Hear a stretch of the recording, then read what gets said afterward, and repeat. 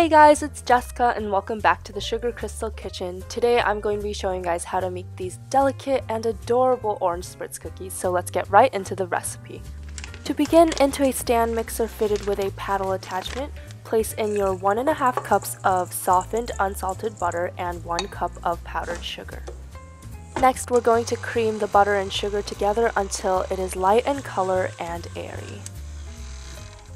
At this point, we're going to give our bowl a good scrape with our spatula and then move on to our eggs. For this recipe, you're going to need one egg and one egg yolk and feel free to whisk those together. Now to the butter sugar mixture, we're going to add in the vanilla extract and a third of our egg mixture. Cream these on high speed until the mixture looks homogeneous, then give the bowl another scrape before adding in your second third of eggs. Cream on high speed again, stop the mixer, give the bowl another scrape, and then add in your final addition of eggs. So the reason why we add the eggs in steps is just to ensure that everything gets well creamed together and incorporated. Now lastly, we're going to pop in our all-purpose flour. Cake flour actually works better here, but I just didn't have any on hand.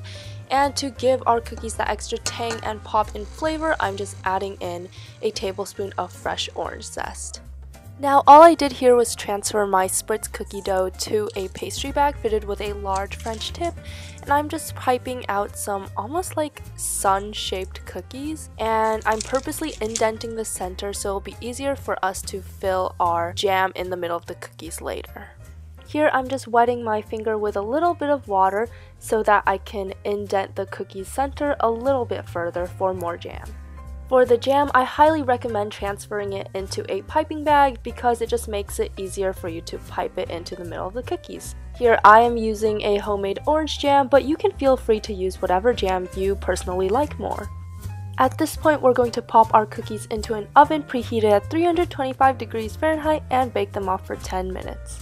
Once they come out of the oven, make sure you let them cool down before you dig in because they are a little bit on the soft side and need some time to set up. But that is it for how to make these impressive little orange spritz cookies. I think they're just perfect for springtime and honestly if you package them up they also make the cutest little gifts. So I hope you guys enjoyed this week's recipe. Don't forget to leave me a thumbs up and subscribe if you did and I will see you all next time. Thank you guys so much for watching. Bye!